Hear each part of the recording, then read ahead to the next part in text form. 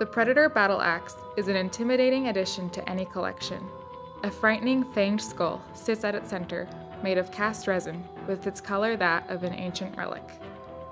Long spikes surround it in a circle, further framed on each side by the stainless steel axe blades.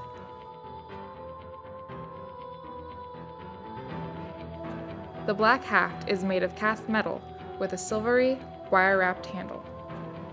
A wicked skull makes up the pommel, gripped tight by a four fingered claw. Display the fearsome Predator battle axe for all to see with the included plaque.